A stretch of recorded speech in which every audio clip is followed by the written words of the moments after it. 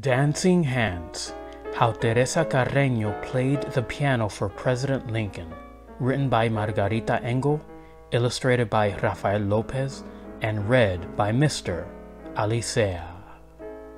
When Teresa was a little girl in Venezuela, Mama sang lullabies while Papa showed Teresita how to let her happy hands dance across all the beautiful dark and light keys of a piano.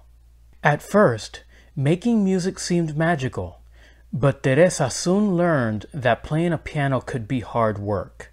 Sometimes she had to struggle to make the stubborn music behave as she practiced gentle songs that sounded like colorful birds singing in the dark and light branches of a shade dappled mango tree, and powerful songs that roared like prowling jaguars beside towering waterfalls in a mysterious green jungle. If Teresa felt sad, music cheered her, and when she was happy, the piano helped her share bursts of joy. By the time she was six, she could write her own songs, and at seven she performed in the peaceful chapel of a magnificent cathedral, playing hymns that shimmered like hummingbirds. Music was Teresita's delight, but suddenly when she was eight, a war changed everything. Guns blazed, swords flashed, and poor Papa had to rush the whole family down to the seashore and onto a ship into a storm where wind howled, waves rolled, barrels tumbled, ropes snapped, and clouds bucked and kicked across the wild sky like angry mules. By the time the ship arrived in New York, Teresa felt lost. She was homesick. How could she ever play happy songs again in this unfamiliar country where she did not know a single friend? Few people spoke Spanish, and all around her Curious strangers stared and whispered as if her whole family belonged in a museum of oddities. Worst of all, there was fighting here too. The horrible Civil War, North battling South, as soldiers marched and newspaper boys hollered about victories, defeats, funerals, and fears. Without a new piano, Teresa would have felt even more lonely. But soon she discovered that wherever one is, some people are friendly, drawn together by songs. Musicians came to her home, playing along while they listened to the dazzling notes of her dancing hands. Determined to improve, Teresa practiced graceful waltzes and sonatas, booming symphonies, and lively folk songs, her strong hands accepting the challenge of life's many dark and light moods. People began to call her the piano girl. Her picture was in the newspaper and on posters advertising concerts where she performed with great orchestras that invited her to play solos. Teresa triumphed in enormous theaters where children clapped and cheered while their parents stood up and tossed roses.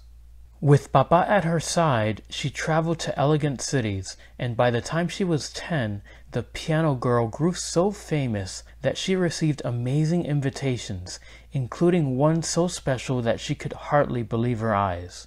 President Abraham Lincoln wanted her to play for his whole family at the White House.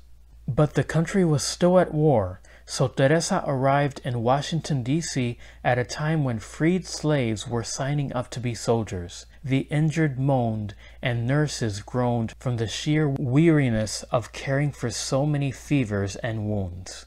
Not long ago, the president's young son had fallen sick and had died. Men argued about battles lost, battles won, speeches made, victory delayed. Teresa began to worry. How could music soothe so much trouble? Poor Abraham Lincoln.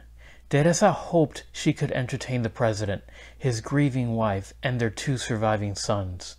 Her fingers might stumble, the rhythms emerging too slow or too fast.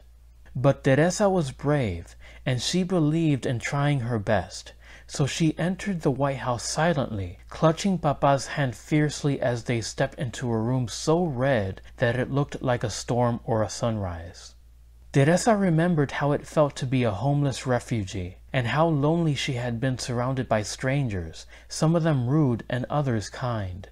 The memory of meeting past challenges now helped her fingers dance. celebrating the way life had turned out to be a mixture of all sorts of feelings, happy and sad. But the piano was poorly tuned, making her music sound ugly. What should she do? Refuse to play? She stopped, feeling discouraged, until Mr. Lincoln smiled kindly and asked for his favorite song, Listen to the Mockingbird.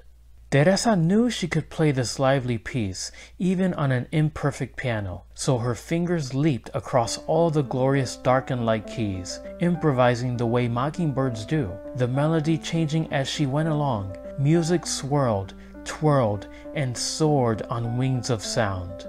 The president listened quietly to notes that rose, swayed, rippled, and dipped like a bird in a blue sky above a green forest. He closed his eyes, nodded his head, stretched his long fingers, and tapped the tips of his shiny shoes. When the joyful song ended, Abe Lincoln stood up and clapped, smiling at the piano girl, who smiled too, because she knew that her music had brought comfort to a grieving family, at least for one brief, wonderful evening of dancing hands. From then on, Teresa felt certain she would always be bold enough to share her musical courage anywhere in the world, simply by letting her fingers travel across all the beautiful dark and light moments of hope.